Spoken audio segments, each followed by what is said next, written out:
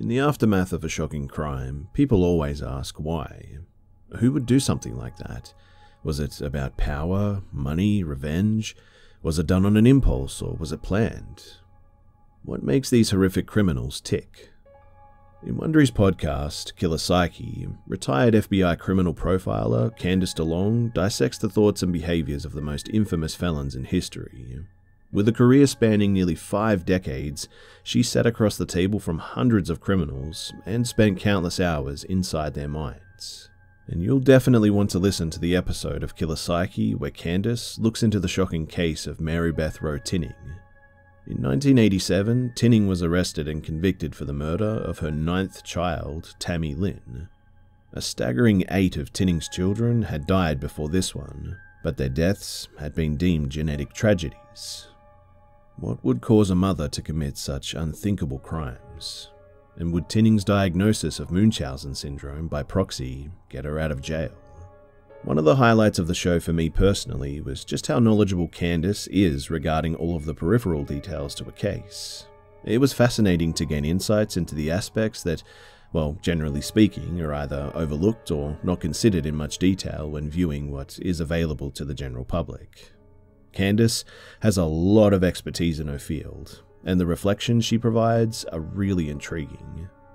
So, listen to Killer Psyche on Apple Podcasts, Amazon Music, or wherever you get your podcasts.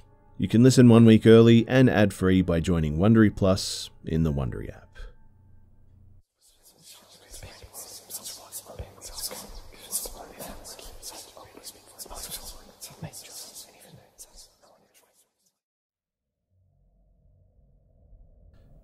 Back in 2015, I was dog sitting for a family that my parents knew really well. They lived in a wealthier neighborhood and had three dogs. It was a very safe area too, so my parents were okay with me doing it, even though I was still in high school. They had contractors working on their deck outside, and I was notified of this by the homeowners, and they told me that the guys would never have a reason to come inside the house, so I shouldn't have any concerns about interacting with them. So, one evening I returned to the house after school and cheer practice, I walked through the threshold and down the hallway into the kitchen in the back of the house to let the dogs outside, and there was literally a man just standing there staring at me. None of the lights were on. I almost had a heart attack, in fact. I flipped the light switch on, and it looked like it was one of the contractors. He was smiling too, like a, a complete psychopath. He held up the spare key from outside and said, you're staying here all alone, right? You should have hidden this key better. The key was hidden in the front of the house under a rock. And not only that, but it was a very hidden rock, in the back of the garden, hidden under a bush. And the contractors, they were working in the back of the house. There was absolutely no reason for them to have found that key, which tells me that this guy had been purposely looking for it. I told him to leave immediately or I would call the cops. As he walked by me to get out of there, he whispered to me the cops wouldn't do much. It wasn't breaking and entering. Then he handed me back the spare key. I immediately called the homeowners, and they were obviously freaked out on my behalf. They called the contracting company to fire them and wanted to know the name of the exact guy who was entering their home. And it turns out that this dude wasn't even actually a part of the contracting company. The whole team that was at the house every day was at that moment with their boss at dinner. Which means that some random dude was watching the house, found out that I was there alone, pretended to be one of the contractors, and broke in just to mess with me. Thank God that my father came and spent the night with me, and thank God that this creep didn't do anything worse. To this day, we still have no idea who he was or how he found that key. I'm fairly confident too that he didn't try anything because once I came through that door, the owner's largest dog, a Labradoodle, came downstairs. The creep obviously didn't know this, but that dog was extremely timid and shy. The reason that he didn't come down when the guy entered was because he was probably hiding and felt comfortable to come down once he heard my voice. I think that the presence of that big dog may have scared him that day, and I think that I may have just gotten really, really lucky.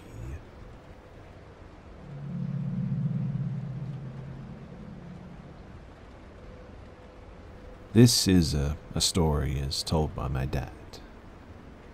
My dad was a younger teenager at the time and was riding on the bus in Chicago. A man got on and sat in the seat across the aisles from him. He turned toward him and started to strike up some conversation. My dad says that the hairs on the back of his neck raised, and he got a seriously creepy vibe from this guy. Gacy was all smiles and charm, and asking my dad increasingly personal questions. Luckily, before things got too personal or creepy, my dad's stop came up and he enthusiastically noped off the bus and pretty much forgot about it at that point. It wasn't until years later, 1978, the year that I was born, that he saw on the news that same creepy guy, affectionately known by children as Pogo the Clown and Patches the Clown. Apparently, he had a thing for teenage boys. But here's another creepy detail. My dad is best friends with a guy who happened to live across the street from Gacy as a child teenager. He confirms that Gacy was a really creepy dude.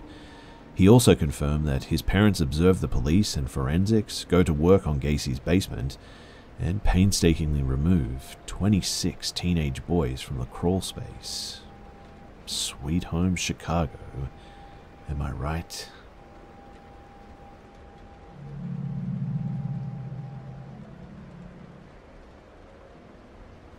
So I'm going to tell you guys a story that happened when I was 17. This story, it still freaks me out so much and I don't even know what happened that day. I would like to have your opinion on it, if that's alright. It was in November and my friend Jacob was going to have his 17th birthday. Me being a good friend, I proposed to have him sleep at my house and then go for a walk the next day with friends in the forest. He accepts, everything goes well, he sleeps at my place, and the next day we leave with friends for two hours off the road. The forest is a bit far, but at the time I lived in the city centre, so it took a little while. But after the road, I quickly realised that I forgot the keys to my house at home and that, therefore, the door to my house was not locked. But hey, I tell myself, we are in town and only a few people frequent the suburbs anyway. It should be fine. The day is going well, and it's time to go home, and I was stressed out about knowing if my house had been robbed or not. But in the end, I just said to myself that there was basically no chance of that happening. My friend Jacob wanted to spend more time with me before I left for my studies, and so we did that. And in the end, he decided that he was going to sleep over my place. We walk into my house, and I see that it's all intact. It's pretty nice looking and wide open, so I walk around the house, and that was when I noticed something. The cellar door, which I never open, was open, and there was white paper on the floor. I quickly realized that we had to call the police and check if there was anybody in this house to reassure us that there wasn't. Myself and Jacob, perhaps stupidly as well, decided to shout out that if the stranger didn't come out that the police would take care of it. To be honest, I was paralyzed with fear and I was scared that the stranger was actually going to come out. And the bad news was that we suddenly heard the stranger, who was in that cellar, cry out, You're not allowed in this home. Get out of here before I lock you up.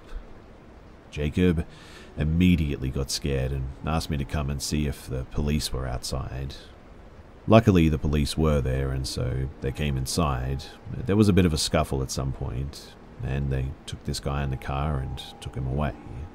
But the creepiest thing is that the police actually found kitchen knives, an axe, iron chains, and a board, and there was also a white sheet on which was written behind you, down in that cellar.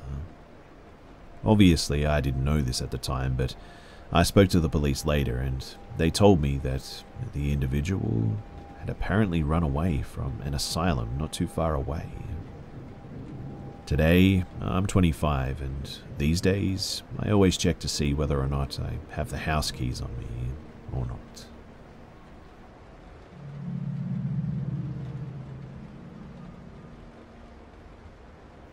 So, a little bit of background about me and my roommate in this story. We were both practicing Christians, so I do believe in the spiritual side, demons and such. But I'd never had any encounters that I deemed supernatural per se. But that all changed for me about three years ago. We were living in a small apartment at the time where me and my roommate, his name was Joe, lived at the time. His girlfriend had just gotten back from a mission trip to Haiti and brought home a gift for him. This gift was a crudely sort of wooden carved elephant that she was gifted from a Haitian child. This thing was really sort of creepy, I guess. It just gave off a really eerie vibe by looking at it. Clearly hand carved with not the best craftsmanship, it was unsettling to look at. However, Joe, being a good boyfriend, graciously accepted the gift. I somewhat jokingly, but also seriously, expressed how I did not like the mojo surrounding this thing. He basically explained that he thought that it was weird, but it was a gift, so he was going to keep it. And at that, keep it in our room. Later that night, I received an unusual text from my neighbor who lived across the hall. We were friends, but we never really texted, so this struck me as odd when she asked, Are you okay? I was in the living room watching a movie at the time, so I replied, Yeah, just relaxing, watching TV. I was met with the response of, Oh, I had just pulled in and thought that I saw you in your room pacing back and forth. My heart dropped instantly. Uh, I was home alone at that time, and so I immediately ran into the room to find nothing but stillness. I made a glance at the wood carved monstrosity, which almost felt as if it were staring back, and then closed the door. Now unsettled, but not completely startled, I tried to settle back in. A couple of hours later, it was time for bed, but this time my roommate had already returned. I told him about the text, but he mainly brushed it off. I've never been a great sleeper at the best of times, too, so this experience didn't help me to get into a state of rest. However, eventually, my mind drifted asleep.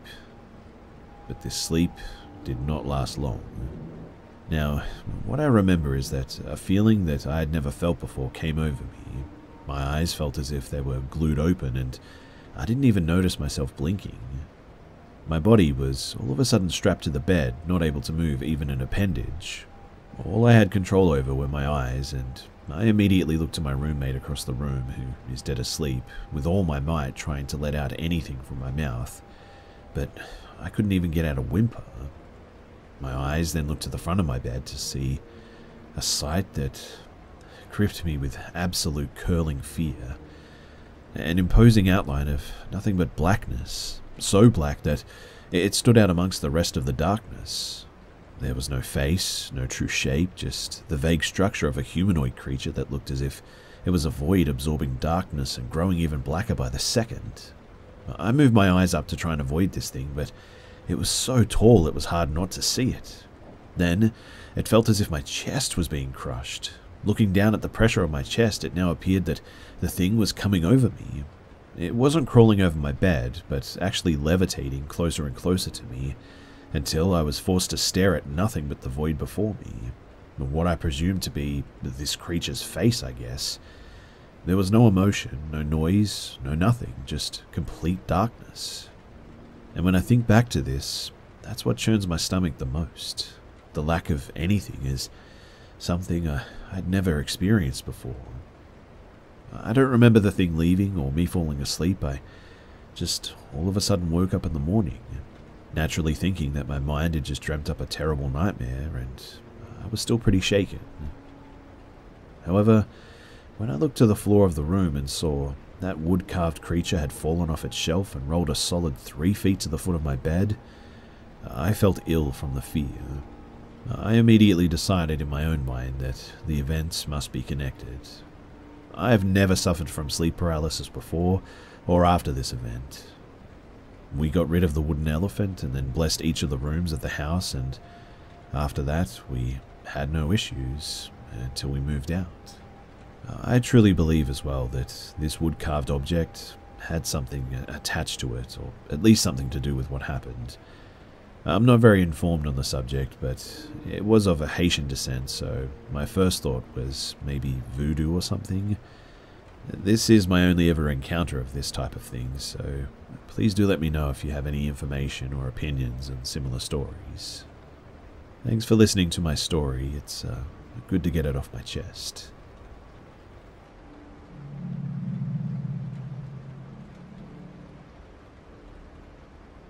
When I turned nine, my parents finally let me start walking to school. It wasn't far, and even though they were worried, I assured them that I would be fine. I was so excited because my best friend lived next door, and that meant that we could walk to school and back together pretty much every day. Things were going great as well the first few weeks. And we had so much fun laughing and talking all the way to school and back home.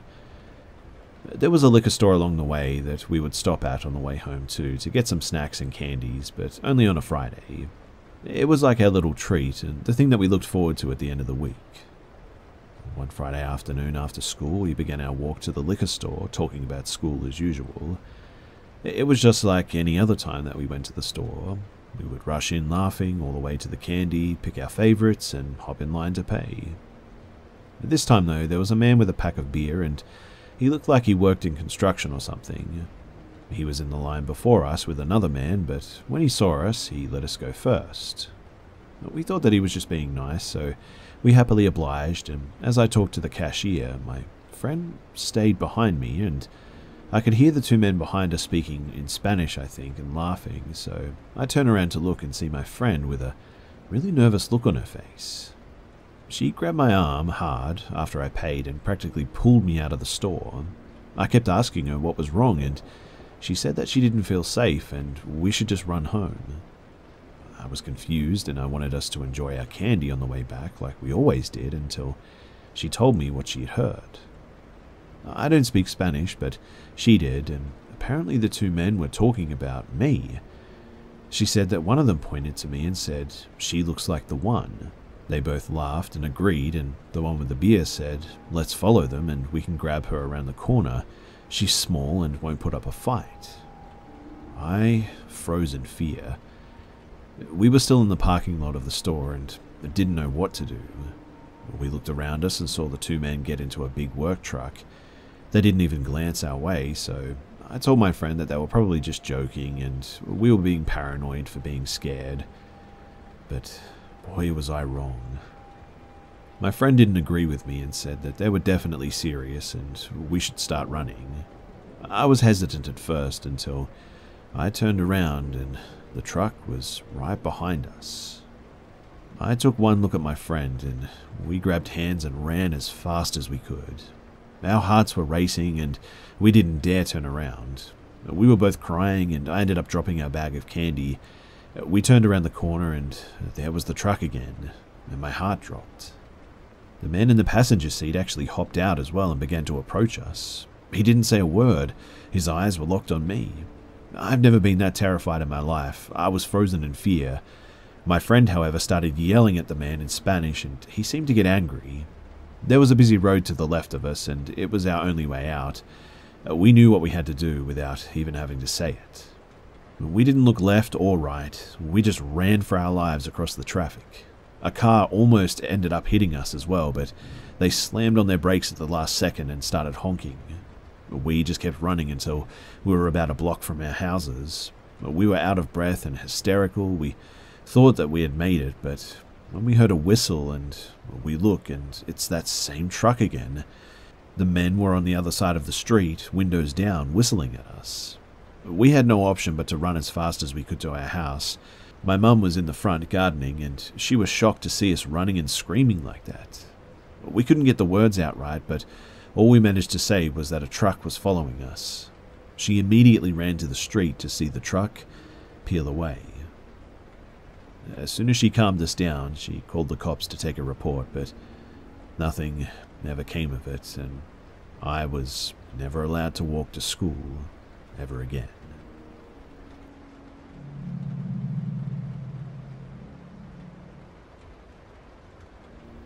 Back in my single days, uh, I often tried online dating apps. I talked with well, lots of guys, but this one guy in particular, his name was Tom, we started chatting after we matched up, and it went well. So we progressed to talking over the phone. He had a nice voice, and I liked that he could carry a conversation because I always feel uh, sort of awkward with talking to people, and I have the problem of running out of things to say, really. My mind will draw pretty much a complete blank when I'm nervous as well, so having him talking to me on the other end of the phone was a nice relief. After some successful phone conversations, we went on a couple of dates in person too that were surprisingly very pleasant. We met up in public venues, a couple of restaurants. We both had a background in English, and he was also a writer like me, so it was nice to have these interests in common. Our conversations were easy, in depth, with a, pretty nice flow. I invited him to a function in my community where he introduced himself to my neighbors, friends, and even my family. They kind of looked at me questioningly, like, Is this your new boyfriend? raising their eyebrows. I told them no, that we were just friends who were still getting to know each other. It felt too, I don't know, soon for me to call him my boyfriend, I guess. But Tom said something different, telling everyone that I was, in fact, his girlfriend. I had to keep correcting him, and I felt a, a little bit embarrassed if I'm being honest and I regretted bringing him to the gathering in the first place. Overall, we really only uh, dated, I guess you could call it. I use the term loosely, though, for about three weeks before things started to get, well, really weird. You see, Tom was increasing his number of text messages and wanting to spend a lot more time with me, asking to see me almost every single day, in fact. At first, uh, I thought that this was flattering. I enjoyed the attention and the feeling of being wanted. But at some point, I'm not exactly sure when as well, it just escalated to a really different, uncomfortable level. I remember just feeling smothered. He'd blow up on my phone asking me what I was doing, but it didn't seem like he was asking in a normal, how are you kind of way. There was a, a controlling undertone to the question when I answered, he'd want to know every detail about where I was, what I was doing, what time I was doing it. I considered that maybe he was just feeling insecure and that he would calm down with some time. Oh, On our next outing, I actually met up with him and my friend so we could go out to a bar and just hang out. At some point, though, my friend wanted to leave because she wasn't feeling good. We said goodbye to Tom and I left the bar to take her home. When I checked my phone after arriving home late that same night, I saw that I had a bunch of angry text messages from Tom about, why didn't you kiss me goodbye, and things like, you don't really like me, do you? I wrote back saying, I just had to take my friend home. I didn't know I was supposed to kiss you. Kissing me shouldn't be an obligation, he wrote. Sorry, I just didn't know about it because I was occupied. We can let this go, right? I'm tired and I want to go to bed now. He said, Okay, you're right, I'm sorry. Please don't ghost me, okay? Or something along those lines. I didn't know why, but I just felt really weird and that he was just too clingy. And it worsened from here. Moving forward, whenever I talked to him, it seemed like he would be deliberately trying to initiate an argument or a fight. I am definitely not the confrontational type, and so this was incredibly energy draining for me to keep up with. Why does everything have to be an argument? I confronted him one day. He explained how he grew up in an abusive household and he was used to the members of his family fighting and arguing all the time. Uh, this apparently felt normal to him. I explained, Well, I'm not used to this, and frankly, it feels a, a little scary to me. People in my family talk things out calmly when we have disagreements. We don't raise our voices, jump to accusations, or have temper tantrums. You're right, he said. But of course, this didn't change. I lost the spark at this point, too. That initial attraction I had for Tom was just gone. Truthfully, I actually felt pretty repelled by him now. I decided that I just couldn't see him anymore. I felt really sad and guilty for his life situation and the way that he grew up, but at the same time, the roller coaster dynamic of our communication was really starting to take a toll on my own mental health. And unfortunately, when I broke up with him, he threatened to end it all. I didn't know what to do, so I asked my parents and some of my old psychology course classmates for advice. and everyone advised me that Tom's mental instability wasn't my responsibility and that he needed to go and seek help. He kept flooding me with messages on all of my accounts, though. As mentioned before, he was a writer, so he'd send beautifully written lengthy pleas for forgiveness, and I replied with, I really just need a break right now, but he ignored my wishes and would keep trying, and at one point he even sent a photo of his dog telling me his dog says, Hi, I miss you, and that's when I thought, okay, this is weird and manipulative, so I'm going to block him. And I did. I blocked him on everything phone numbers, social media accounts, everything. But when he couldn't reach me, he even resorted to some drastic measures. He even emailed my parents. Yeah, my parents. Why is he messaging us? My parents asked me. This feels weird and creepy. I don't know, I said honestly. He's pleading us to convince you to get back with him. I don't want to be involved with this, my mum said. I don't want you to be involved either, I said.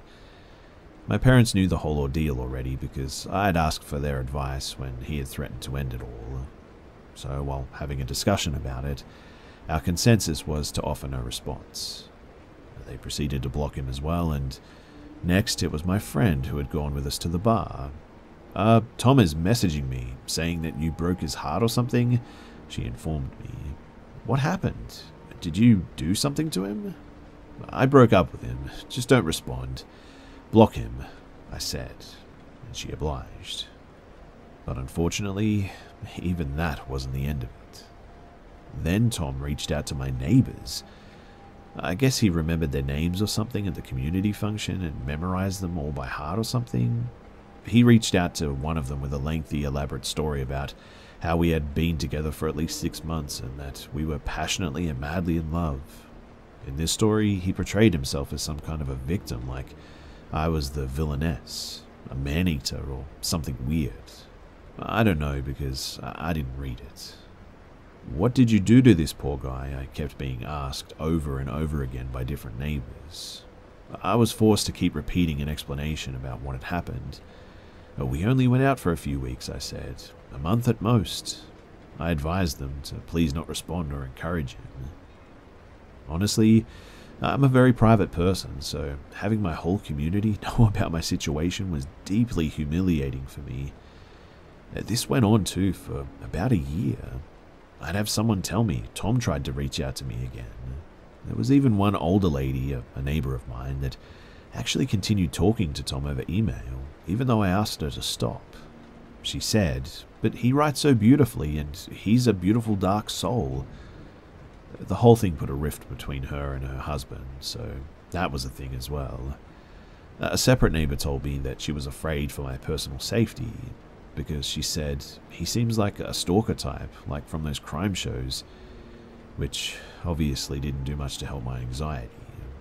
I spent a lot of time indoors for a while after that, too. I felt withdrawn, insecure, deeply embarrassed, and most of all, I felt scared. I felt like I had to look over my shoulder whenever I stepped outside of my home. I took a long break from dating apps, feeling a bit shaken from the whole experience after that.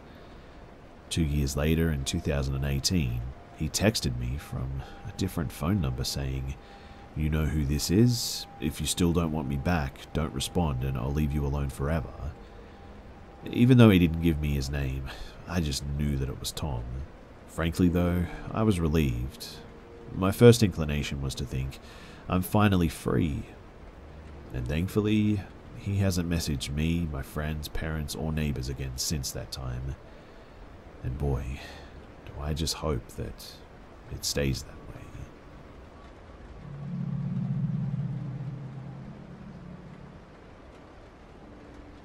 I currently work at a restaurant somewhere in the Midwest. Obviously, I can't say what restaurant, but it's on a pretty busy road with lots of cars and lots of people walking on the road to get to the bus stop or whatever their destination may be.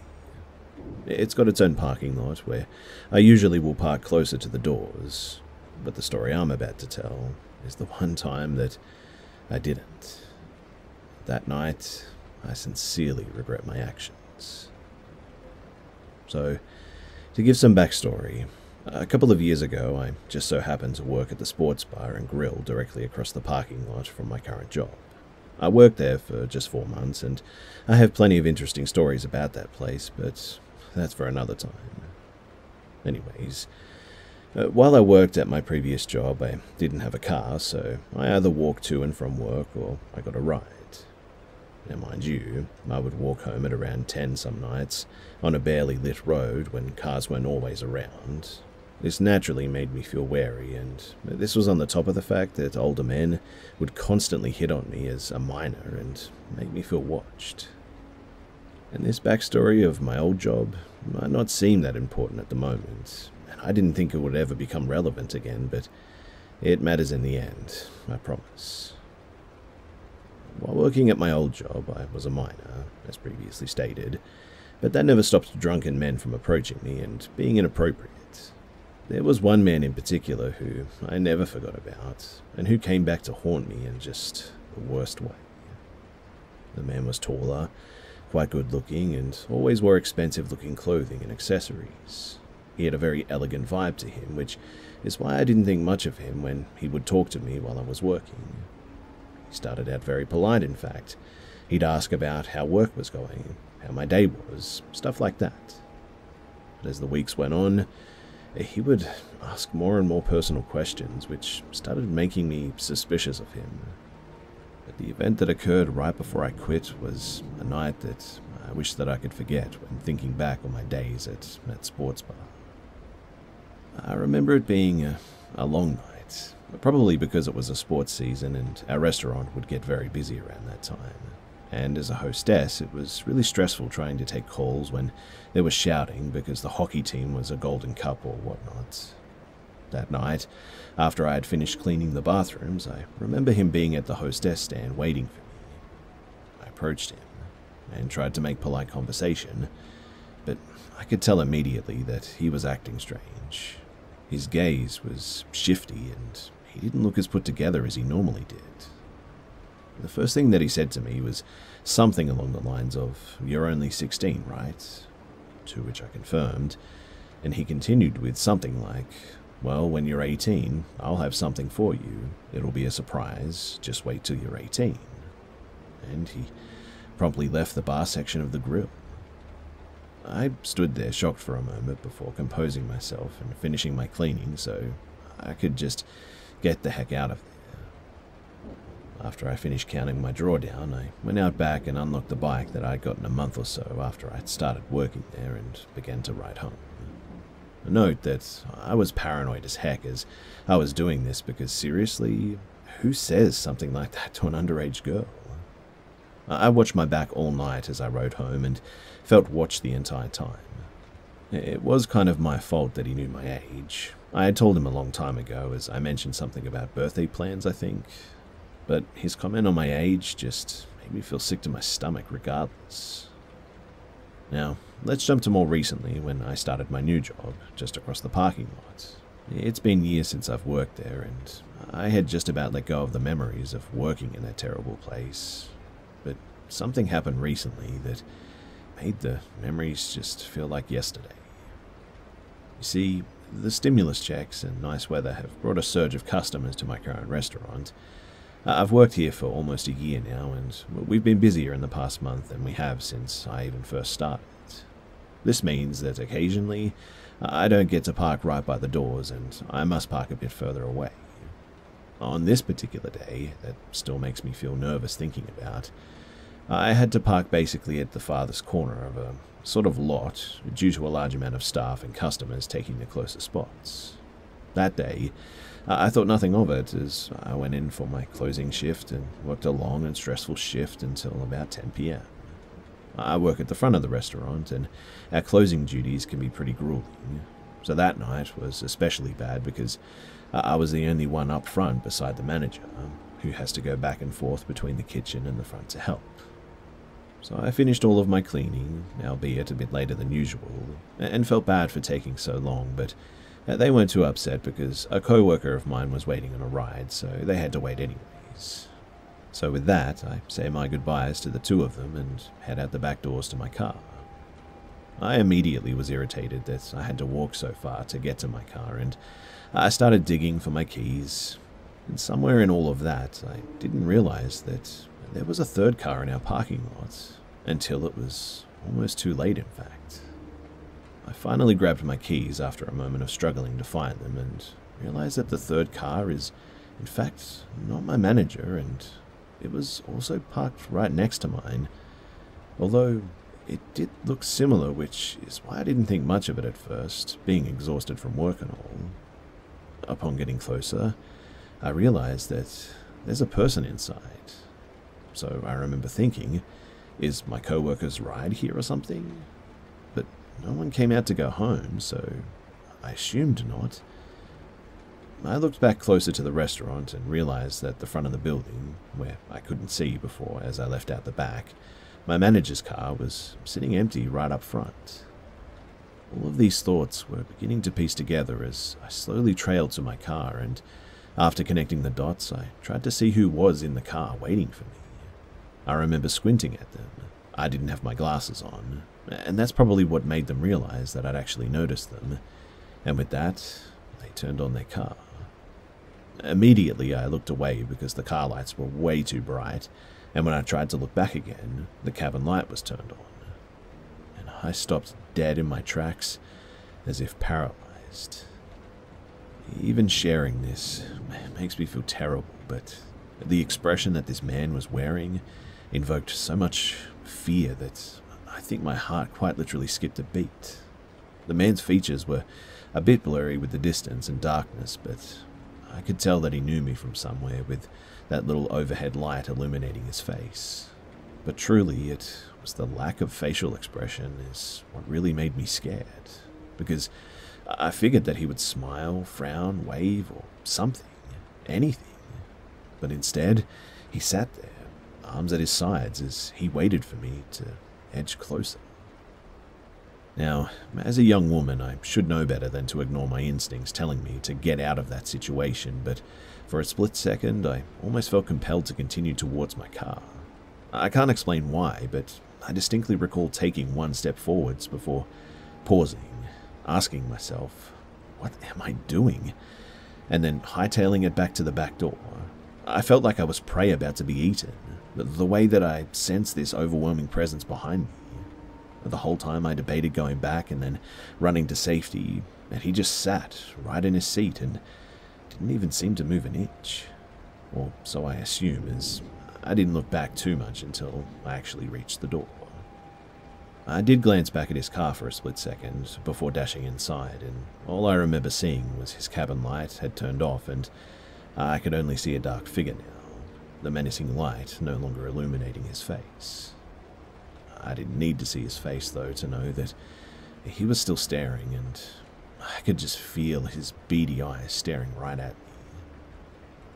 Well, after scaring the heck out of my co-workers by yanking open the back door as I did, I explained what happened. They both got immediately serious and told me to wait with them while they waited for my other co-worker's ride. But we sat for a few minutes and they talked about how freaky the situation was and how they would call the cops if he was still there when we went outside together. But I just sat in silence. I was silent because in the few minutes after the encounter with this strange person, I knew that I recognized him from somewhere. In fact, I knew that he was that same guy who had told me to wait for him when I turned 18. It took me a while because he didn't look like he used to. He looked much more bedraggled, a bit older, and much, much scarier now. I don't know if he saw me that day as I brought out the trash or maybe when I walked into work or something, but he knew that I was there somehow, and that thought terrified me. When their ride finally arrived, we all walked out together, and my eyes instantly shot to the area where I knew his car was parked. It was just my car, though, now, waiting for me to climb inside and get home ASAP. The manager saw my co-worker off into their parents' car and walked me to mine. She helped me to check under my car and inside, as apparently she had dealt with a stalker before and knew all of the tricks to stay safe, and I thanked her profusely, got in, locking my doors right away. I watched her as she walked to her car and started to leave the lot. I looked frantically to see if I could spot his car anywhere in the shopping area that connected with our parking lots, but in the end I found nothing. I live close by my work, so I took a long way home that night, fearing that he was waiting for me to go home and do something sinister. Needless to say, I didn't sleep well that night as I kept thinking that he was in the darkest corner of my room with that hollow expression on his face. I considered making a police report, but seeing as the police tend to be pretty useless in scenarios like this, and I literally only had a first name, which also could have been fake, I decided against it. In the weeks since then, I haven't seen him or heard from him. I still think about him every time that I leave the building, half expecting him to be either standing outside ready to snatch me or parked right next to my car.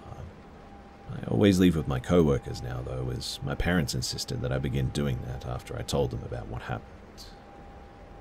To this day, I still wonder why he remembered that I was 18, almost 19 now, but he didn't know exactly when my birthday was. Surely not. Although, he did show up around when I was 18. But I had almost completely forgotten about him. I hope that I never do find out what surprise he had waiting for me, that's for sure. And all in all, I most definitely think that I've earned the right to say that I never want to see this guy ever again.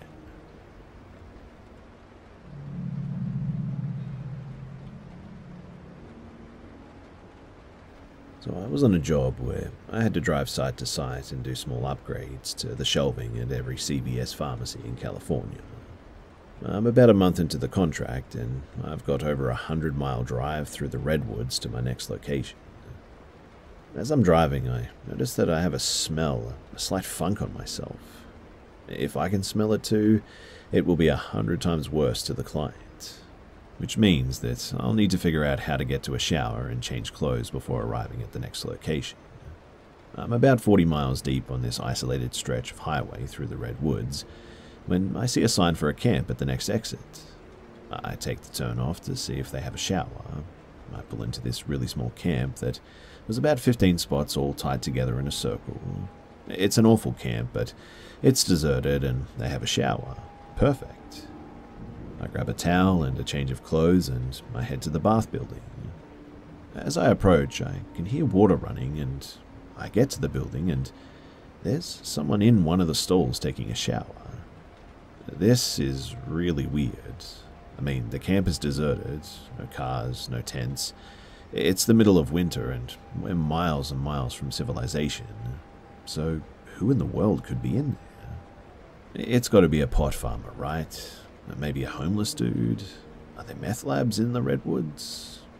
I'm not quite spooked by it, but my instincts are telling me that this is very weird. I decide to go ahead and use one of the showers a few stalls down from him.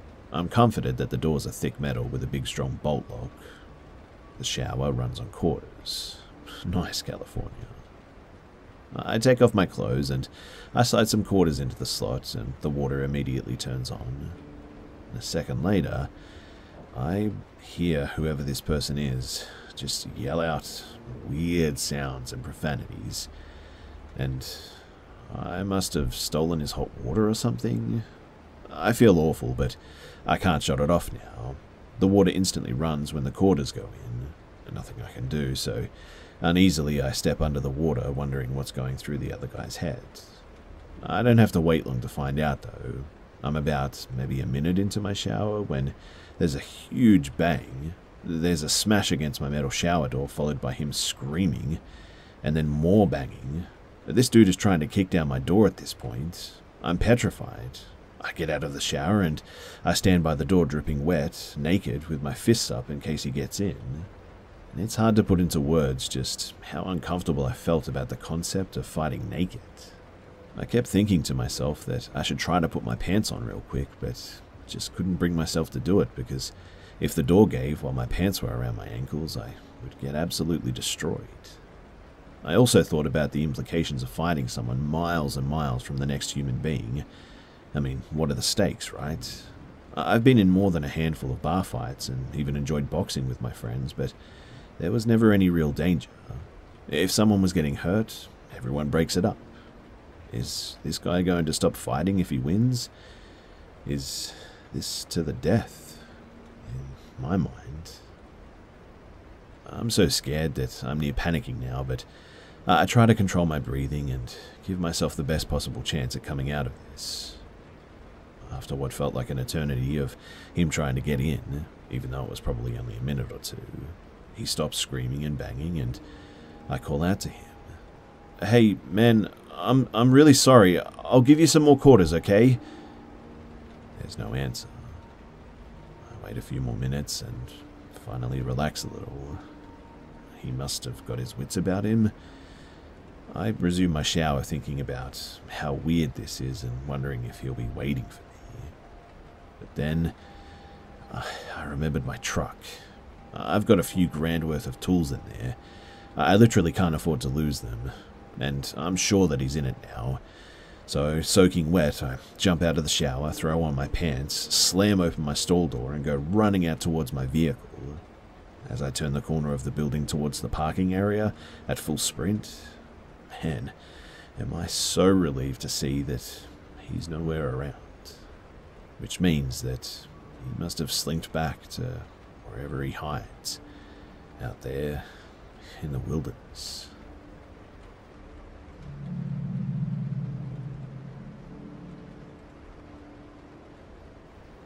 This happened back in 2019, around November 2nd, I believe. Also, this, I can assure you, is true, though not sure if this was just a coincidence or what it was. So, back in 2019, I was pretty much depressed the whole year. Not really to the point where it was too bad, but let's just say that I stopped wearing a seatbelt, smoked two times as many cigarettes as I would have normally, and didn't care much about my well being for the most part. Due to this, and things getting worse mentally, I did a lot of dumb things, uh, supernatural wise. I've always known not to speak to the dead, knowing that when you speak to one spirit, the rest can hear you as well. I've always been extremely superstitious and believe in the paranormal, supernatural 100%. But anyway, I live next to this huge cemetery and drive by it every day since it's right across from my neighborhood. Due to my superstitions and believing that the dead can do things us humans aren't capable of, each day I would scream out of the window when passing the cemetery, begging for one of the spirits to get me in a car accident. This habit started on November 2nd, I believe, so I did that each day while driving past the cemetery. And lo and behold, November 6th, I was driving to work at about 4:30 in the morning. I go the same way every day and was coming up to a red light when out of nowhere, and I kid you not, this was literally out of nowhere, I heard a loud honk from behind me and was rear-ended by one of those big white RG&E trucks that fix telephone poles and stuff. Since I was at the red light, it basically pushed my car forward into the middle of the intersection. And once again, out of nowhere, I was T-boned by some random old dude in a van with his wife. I was driving an 05 Nissan Sentra at the time, and it was completely wrecked, literally demolished, and I had not one scratch on me at all. My knees were extremely bruised. I have no idea how that happened, but that was pretty much it. This also happened literally on the main road coming out of my neighborhood, about a mile down from that cemetery. There are never, and I mean never any cars this early in the morning. There may be one every now and then, but even that is rare for the most part. Also, while I was talking to the old man, they lived in a town literally 40 minutes away and were driving to the park. The whole story is just so weird and it honestly kind of creeps me out, but yeah. I was in an extremely bad financial situation, so I was stuck without a car for quite some time. I was driving by the cemetery begging to be in an accident. I meant that I sort of well, wanted it to end, so I think whichever spirit heard me or whatever wanted to mess with me or something. I don't know, take it as you will. Maybe this was an extremely weird coincidence, but if not, always remember to be careful what you wish for.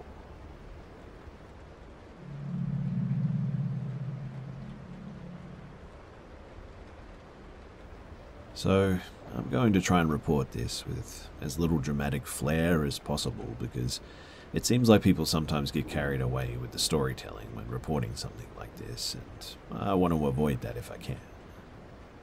So, this happened a long time ago, and not even in America, but for the first time the other day I was discussing it, and suddenly realized that it actually involves three of the major factors associated with a lot of the missing 411 cases a body of water, a dog behaving extremely unusually, and large amounts of granite. So, I was in my mid teens at the time, and due to the unusual circumstances, my dad had woken me up in the middle of the night to walk the dog with him and have a chat. It was around two in the morning. It was a full moon and a very bright night with great visibility. The skies were clear, and we were walking on a granite hill, an extinct volcano, in fact, that has a valley in the middle with a sort of small lake in it. We had walked around the lake before starting up the side of the valley towards the ridge with the dog on a leash. As we began to approach the top of the slope, the dog stopped dead and point blank refused to come any further in the direction that we were walking. What I mean, too, is that he was literally a dead weight on the leash, and we would have had to have literally bodily dragged him to move him even an inch further forward. We realized that he had tucked his tail between his legs, was visibly shaking, and was in a curled crouch, making himself as small as possible. He was also entirely fixated on something ahead of us that we hadn't actually noticed or paid attention to beforehand. It appeared to be a straight black line emerging vertically from the ground.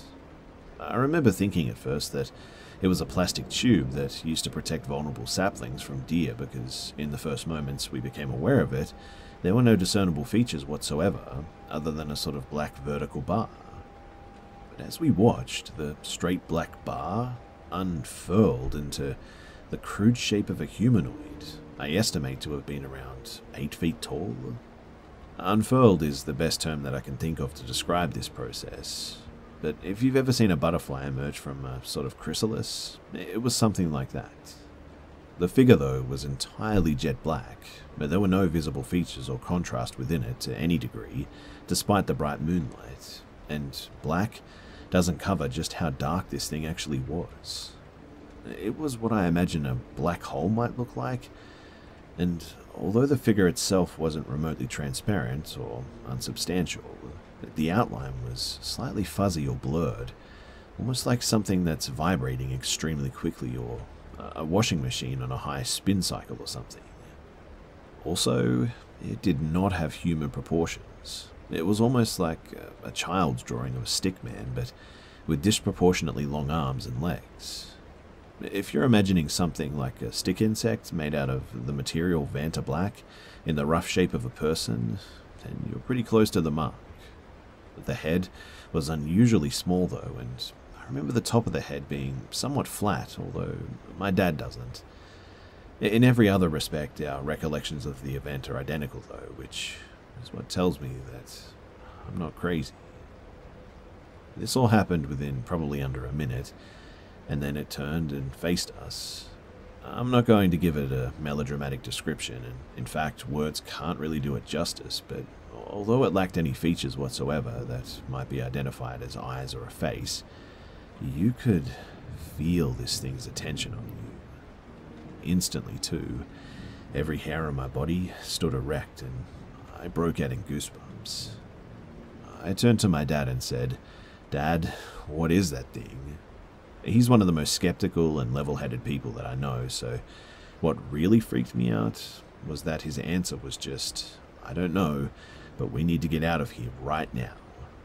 And as a young man, being able to detect genuine fear in my dad's voice, that itself was quite unsettling.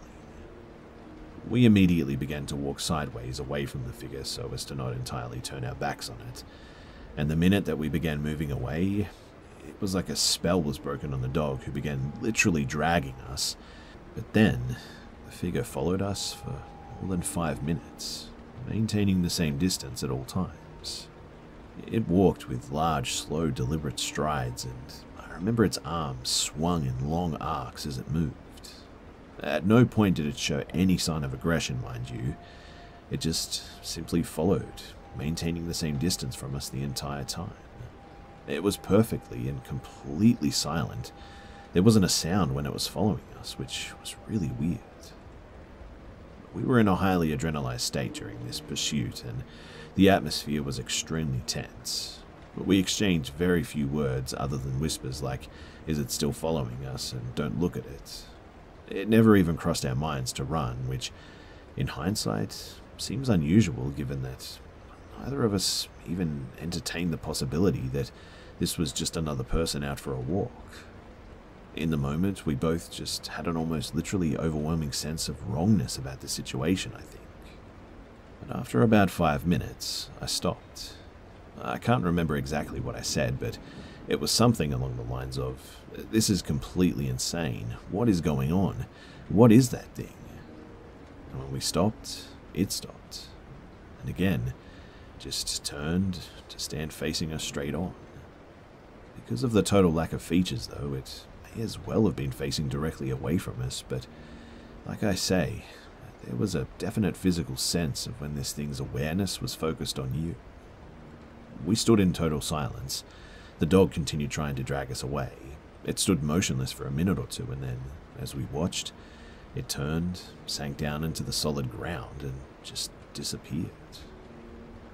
Immediately, it felt like some sort of a charge in the air had dissipated, and we began power walking back to the car. When we got back, we were still buzzing with adrenaline, obviously, and woke everyone up to tell them what we'd seen. And that's the story.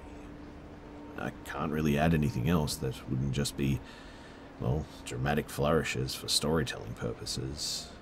The dog's behavior was extremely uncharacteristic of him. If we had encountered another person under the same circumstances, there's not a doubt in my mind that he would have been barking and straining on his leash to approach them rather than get away like that. That's partly why he was on a lead too, but also because he was a rescue and very prone to chasing animals and disappearing for like 20 minutes or so. Needless to say, though, we were both quite shaken as neither of us could really come up with any plausible rationale for what we'd experienced. Occasionally over the years, people have suggested that it was a Brocken spectre, where our own shadows were being cast by the moon on a fog bank or low cloud, but uh, I just cannot accept that explanation.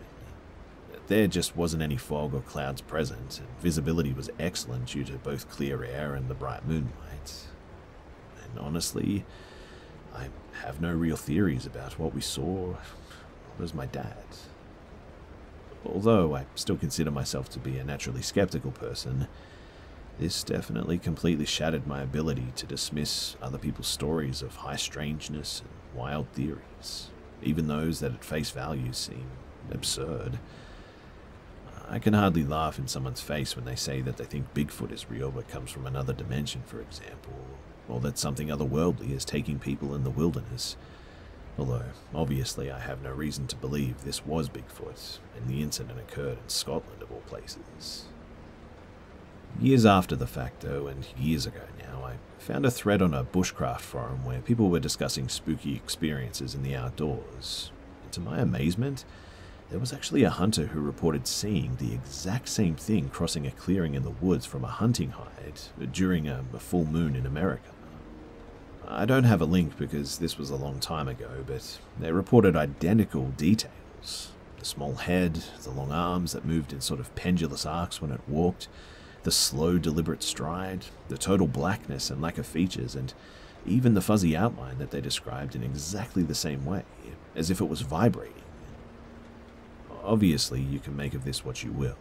I'm not trying to convince anyone of anything, and I'm not married to any particular theory about what we saw. I just thought that it was worth sharing here. But before I finish, I want to briefly touch on two of the more obvious explanations for what we experienced and why I struggle to accept them, but first, because it's relevant to one of them, let me mention that there are at least some caves on this hill and that they've been associated with spooky stuff before, although I didn't know this at the time. In 1836, a group of schoolboys found a small entrance to a previously unknown cave on the hill near where this occurred that contained 17 miniature coffins containing what we would describe today as voodoo dolls, and some of them are still on display in the Scottish National Museum today. But anyway, now for the rational explanations. So the first one is that we were hallucinating.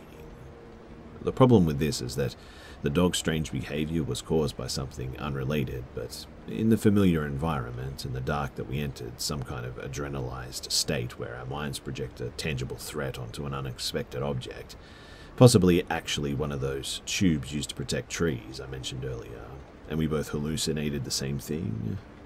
I don't know. I find this hard to accept because of the specific details that we both recalled afterwards long arms, small head, vibrating outline, slow deliberate stride, swinging arms, strong sense of when its attention was focused on us. And all of this despite not actually talking about what we were seeing at the time, and also that the dog was very clearly focused on the same thing as we were, and absolutely terrified. The second is that it was exactly what it appeared to be a very unusually tall black skinned individual, emaciated to the verge of death, that was vibrating. In this scenario, they would have emerged from a hole in the ground. Remember the cave? And perhaps were shivering from the cold. It is Scotland after all. They then followed us in silence before descending back underground via another hole. And you know what? I can almost accept this, and that due to the adrenaline, our brains interpret it as being more dramatically strange than it actually was. The problem with this theory is that it would still be really, really weird, right? But it does bring us back into the tangible world of things, I suppose, that actually exist, because although Scotland is something like 98% white, there are still thousands of Scottish people with black skin, and it's possible some of them are very tall, I suppose. I guess the only thing that's worth maybe adding to this is that this event seemed to flick some switch in my head that made me no longer remotely afraid of the dark under any circumstances. You'd think that it would have gone the other way, and I'm not LARPing as a vampire or some possessed creature of the night or anything, but I worked in a bakery at the time and walked to work along a river in the deep valley in the middle of the night. Sometimes it was pitch black to the extent that you would have to feel your way ahead with your hands, and I'm not ashamed to admit that sometimes I get a bit spooked, especially when a fox suddenly screamed right next to you. But after this event, just never again. I can walk through the deepest, darkest forest, abandoned building or mine in complete darkness without feeling even the slightest trepidation since this incident. And I don't really know why, but it's to the extent that people have commented on it. I don't know how you can do that sort of thing. Now, not being afraid of the dark is hardly a superpower, but for me it was always a markedly less intimidating experience after this encounter, and I really can't rationalize why, because it seems like it would make so much more sense for it to have instilled a fear of the dark rather than removed it. Anyway, that's really all I have to say, and in the unlikely event that you've seen the same thing, then please do let me know because I really want to try and figure this out. If anyone has any questions, I'm really happy to answer, but I don't think I've left anything relevant out really, so perhaps this is it. In any case, thanks for listening, and here's hoping that this doesn't happen again.